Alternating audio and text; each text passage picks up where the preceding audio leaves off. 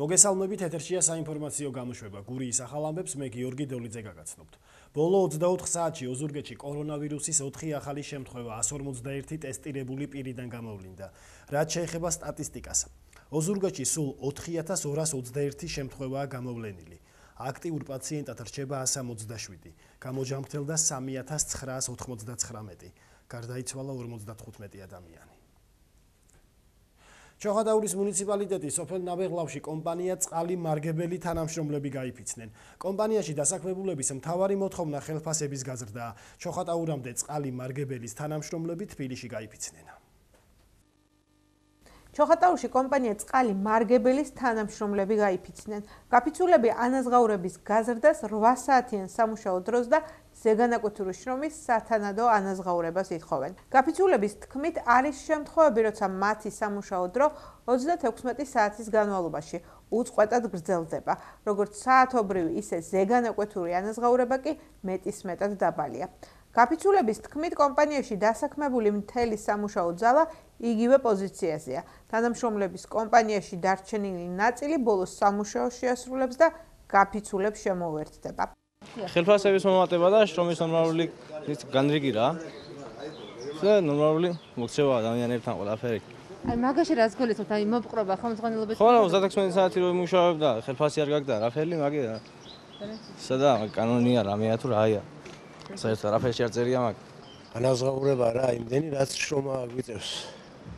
პირობებიც არა იმნარი რომე რაც ჩვენი შრომიდან გამომდინარეა ის იყოს დაგმაყოფილებული რა ყველანაირად. ანუ ხანგრძლივად გიწევთ მუშაობა? კი რა თქმა უნდა. ხან 24 საათი ვარ და ხან მეტი კიდე გადაბული მუშაობა და რა ვიცი, ანაზღაურება არა იმდენ და იმას უთხოვს ეს ხალხი ზღველა. რომ შრომის პირობები პატარა გამჯობესებული იყოს და ხელფასი კონდეს ნორმალური თვიდან თვემდე რომ გეყოს ყველა ვინცა აქ ანუ მაღაზიებში ნისიებით და რაღაცა რომ არ არ ყოფნისა. ვერაგმაყოფილებს ხალხი ოჯახს. ორი რომიდან ოსახში ზოგჯერ იმის ფულს არ აქვს. არ გვაქვს საშუალება ვერ ვამატებთ ხელფას არ იყო მეტი საშუალება და დაგემატეთ 50 თეთრი აქ იყო მაგარის ბოლო პასუხი და ვერ დაგემატებთ ხელფას კრიზისია თელ სოფლიოში საქართველოსში თვითონეთესო და ვერ პირდებით რა ხელფასის დამატებას და ამდენი და გამოვედით გარეთ გავაპროტესტეთ. ჩვენი გეგმა იქნება როგორც ესე ვდგავართ ვიქნებით აქ. სანამ არ წავავლიან იმაზე რასაც მოთხოვნა მექნება დიდ არაფერს არ ვითხოვთ ვითხოვთ ჩვეულებრივ სამუშაო საათს 8 საათიანს თუ კი არ იქნება და გადამეტებული საათს ვიმუშავებთ განსხვავება იყოს დღის და ღამის ხელფასი იყოს ნორმალური როგორც არის სხვა ქარხნებში კომპანიის მხრიდან კომენტარი ჯერჯერობით არ გაკეთებულა ოზურგაში ფქვილის საწარმო გურია ექსპრესის თანამშრომლები უკვე მე-18 დღეა გაფიცულები არიან. დასაქმებულები ხელფასის გაზრდას და შრომის პირობების გაუმჯობესებას უშედეგოდ ითხოვენ. ოზურგეთში ფქვილის საწარმო გურია ექსპრესის თანამშრომლები უკვე მე-18 დღეა გაფიცულები არიან. დასაქმებულები დაბალ ანაზღაურებას, ცუდ სამუშაო პირობებს და ხელმძღვანელობის მხრიდან არასათანადო მოპყრობას აპროტესტებენ. როგორც გაფიცულები აცხადებენ, ინფორმაცია აქვთ, რომ დღეს კომპანია საწარმოში ახალ თანამშრომლებს შეიყვანს. გაფიცულები ხელფასის 800 ლარამდე ზრდას და ღირსეულ სამუშაო პირობებს ითხოვენ. კომპანიის მხრიდან დღეს კომენტარი არ გაკეთებულა. დღეს მე-18 დღეა ჩვენ აფიცულები რო ვართ, არანაირი რეაგირებები არ ტარდება, არანაირი შეხვედრები, არანაირი მოლაპარაკება არ არის. და ერთადერთი კიდევ და კიდევ ჩვენი გაგზელება იმ დღევანდელი დღისაც და იმ დაწყებული 18 დღეა დღეს გასული. ბოლომდე ასე ვიბრძოლებ ჩვენ, სანამდე ჩვენი დაკმაყოფილება არ მოხდება და კიდევ არის რაღაც ინფორმაციები მოგვივიდა, რომ თვითონ საპატრულო პოლიციის ძალებით ახალი თანამშრომლები უნდა მოიყვანონ და ისე ძალებით შეიყვანონ და ამდენად მართალია ხა ზუსტად ვერ მოგახსენებთ, მაგრამ არის ინფორმაცია გაშონილი და ჩვენ არ დაუშვებთ მაგას და ბოლომდე ვიბრძოლებთ ჩვენი ბიჭების სახელით ვამბობ ამას. სანამ ხელფას არ დამომდგენ დაბრჩებით ასე, ვიქნებით გავაგზავნეთ ბოლომდე. სანამ აგენის პასუხს არ გევიქით. რა პასუხი ყოფილა ამ 18 დღეს განმავლობაში? ვატყულებენ დღეს, ხვალ დღეს, ხვალ გამოვა და არ გამოდიან. აი მე 18 დღე აღარ გამოდიან. და სანამ არ გამოვლიან არ გაგვცემენ პასუხს იქამდე ვიქნები დავდგებით. თავი პრობლემა არის რა? ხელფასი პირველში. პირველი ხელფასი და რამდენად ყოფნიდათ ის ხელფასი რაც ქონათ აი ეს? არანაირად არ ყოფნიდა ის ხელფასი. 650 ლარი იყო ხელფასი. ის სახელად იყო. და 800 ლარი გვინდა ხელფასი. მოთხოვნა არის ის ხელფასების მომატება და რა ხელფასებს იტყვენ ისიც სასიცხვა ჩვენ ქვეყანაში ისეთი გაუსაცლისი პირობები.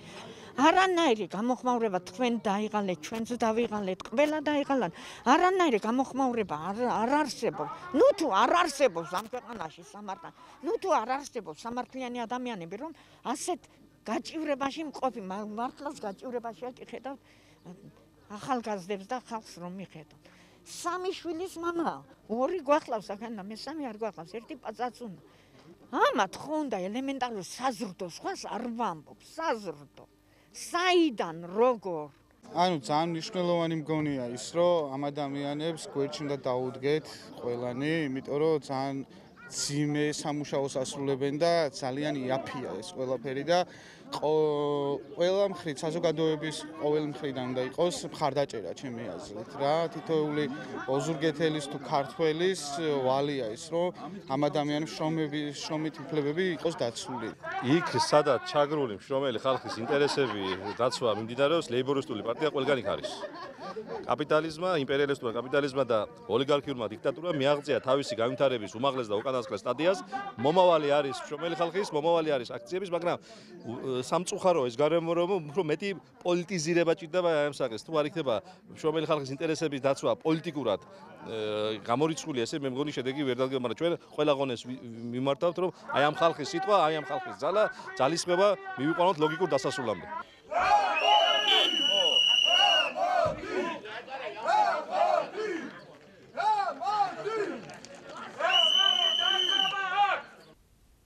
დღეს ღია მართლობა პარტნიორობის ღია მთავრობის კვირეულის ფარგლებში ოზურგეთის მუნიციპალიტეტის ინიციატივით ონლაინ კონფერენცია გამართა.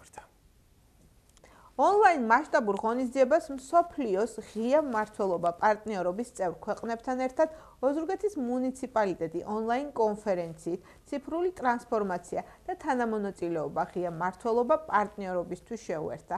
ღონისძიებაზე წარმოდგენილი იყო ოზურგეთის მუნიციპალიტეტში ადგილობრივ არასამთავრობო ორგანიზაციებთან პარტნიორობით დანერგილი ციფრული მართვის საუკეთესო პრაქტიკა და ინოვაციები. ღონისძიებაზე ასევე განიხილეს ადგილობრივ დონეზე ციფრული მართლობის მიღწევასთან დაკავშირებული არსებული გამოწვევები. ფოკუსირება გააკეთეს პროცესების ინსტიტუციონალიზაციაზე OGP-ის ადგილობრივი პროგრამის ფარგლებში. კონფერენციაში მონაწილეობას იღებდნენ OGP ლოკალის წევრი მუნიციპალიტეტები: ოზურგეთი, თბილისი, ხონი, ახალციხე, როგორც საკრებულოს, ასევე მერიის წარმომადგენლები, მთავრობის ადმინისტრაცია და პარტნიორი ორგანიზაციები.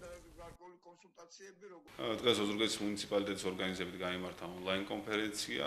მონაწილეობა მივიღეთ ორ პანელურ დისკუსიაში. ჩვენი ყურადღება გამახვილებული იყო OGP ლოკალის ფორმატის ფარგლებში ჩვენ მუნიციპალიტეტის სამოქმედო გეგმის შემუშავებაზე და შემდგომ რეალიზებაზე. ჩვენი გამოცდილება გავუზიარეთ ჩართულ მუნიციპალიტეტებს და სამოქალაქო საზოგადოების წარმომადგენლებს. ვფიქრობ საინტერესო შეხვედრა იყო და ვაგრძელებთ ამ მიმართულებით აქტიურ მუშაობას როგორც გასულ პერიოდში.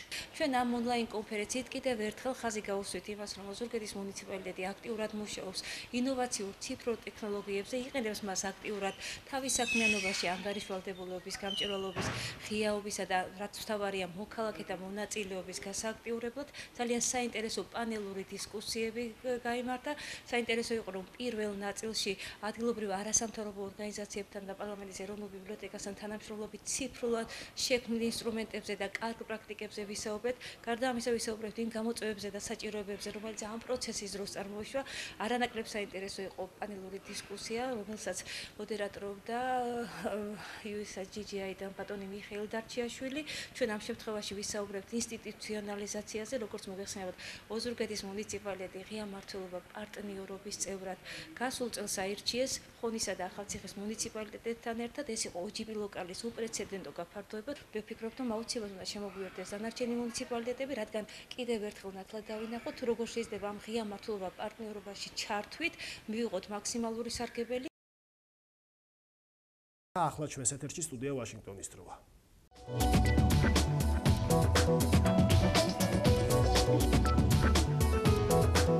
გამარჯობა, ეს სტუდია ვაშინგტონი ამერიკის ხმისა და რეგიონულ მაუწყებელთა ალიანსის ერთობლივი პროექტი. ვაშინგტონიდან ქართლოს შარაშენძე მუშაობს.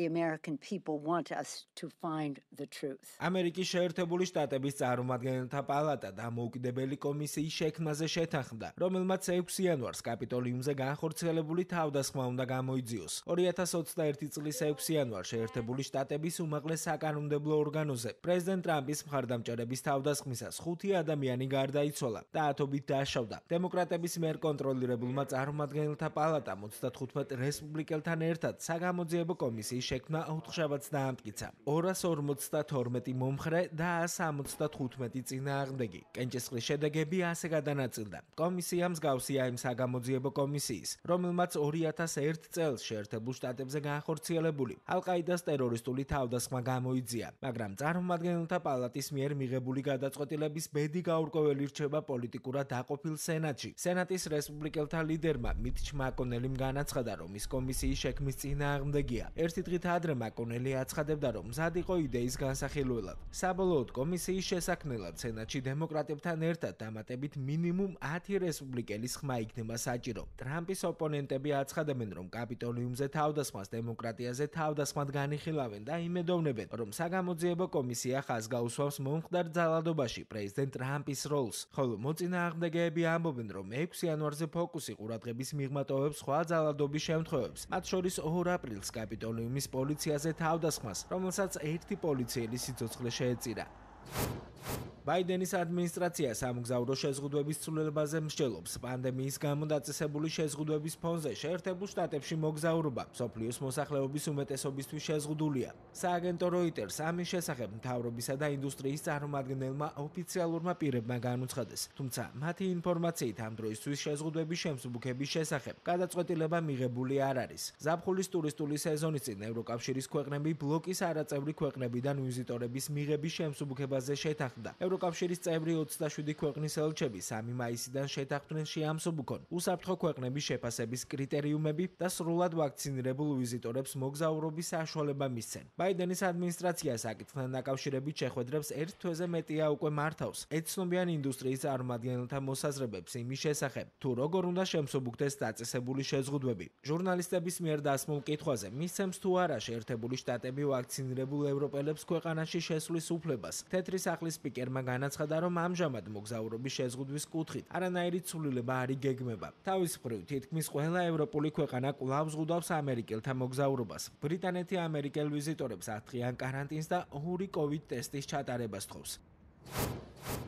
შეერთებული შტატების აკვების და მედიკამენტების ადმინისტრაცია აცხადებს, რომ Pfizer-BioNTech-ის COVID-19-ის ვაქცინის შენახვის პირობები გაიოლდება. ვაქცინის შენახვა პირველ რეკომენდაციასთან შედარებით გაცილებით მაღალ ტემპერატურაზეც არის შესაძლებელი. ამერიკის ფედერალურმა სააგენტომ, რომელიც აკვების, მედიკამენტების და ვაქცინების მთავარი რეგულატორია, განცხადება უთხშაბათს გააკეთა. როგორც ირკვევა, Pfizer-ში დამზადებული ორდოზიანი ვაქცინის შენახვა სტანდარტულ მაცივარში 2-8 გრადუს ცელსიუსზე შეიძლება. როცა Pfizer BioNTech-ის ვაქცინა ამერიკაში საგანგებო ავტორიზაციის აქტის საფუძველზე პირველად დამტკიცდა. მისი შენახვა მხოლოდ -80 გრადუსზე შეიძლებოდა. უახლოესი კვლევები დასტურდება, რომ შეერთებულ შტატებში ავტორიზებული ვაქცინები კორონავირუსის ახალ ვარიაციებთან მიმართებაშიც ეფექტურია, მათ შორისაა B167 ვარიანტი, რომელიც პირველად ინდოეთში დაფიქსირდა.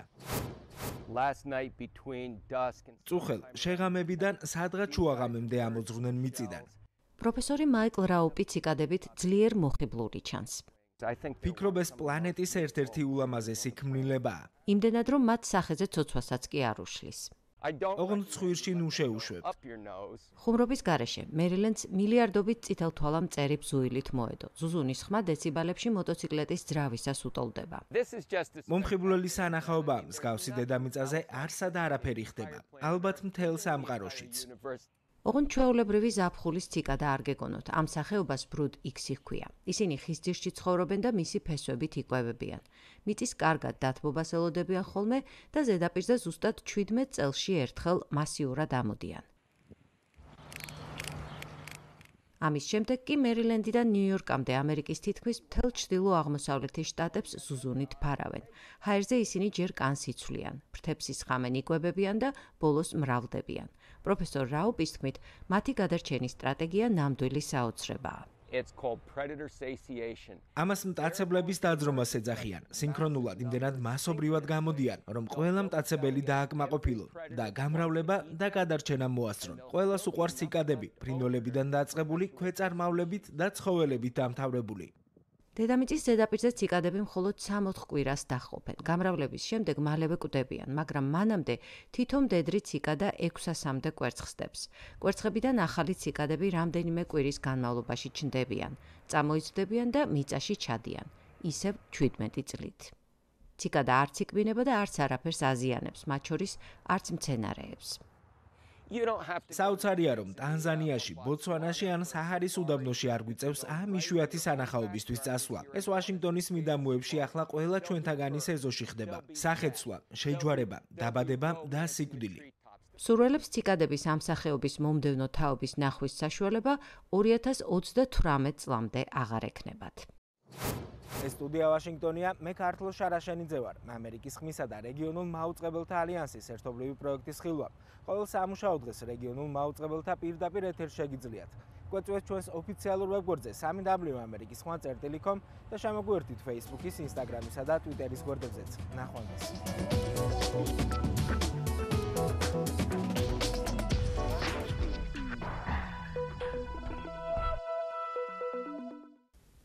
ამ და სხვა თემებს უფრო ვრცლად იხილავთ ჩვენს ვებგვერდზე guriya.tv. ასეთი გახლდათ დღევანდელი საინფორმაციო გამოშვება. მე ახალი ამბებით ორშაბათამდე გემშვიდობებით, ბედნიერ უქმეებს გისურვებთ. ამერიკა ხოთ